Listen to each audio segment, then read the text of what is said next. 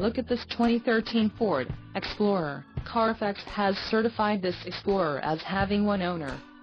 This Explorer has just under 108,500 miles. This vehicle has a limited warranty.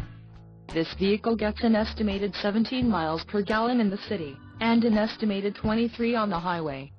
This Explorer boasts a 3.5-liter engine, and has a 6-speed automatic transmission. Additional options for this vehicle include power driver seat, auxiliary audio input, sunroof and driver airbag.